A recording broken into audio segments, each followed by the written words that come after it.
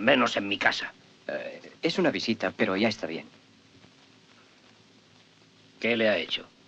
Eh, nada, estaba nerviosa y gritó, pero ya se encuentra bien. ¿Llamo a la policía? ¿Qué? Llamaré a la policía. Eh, un momento. Pueden mirar si quieren. Ahí la tienen, bebiendo agua. No hay necesidad de policías.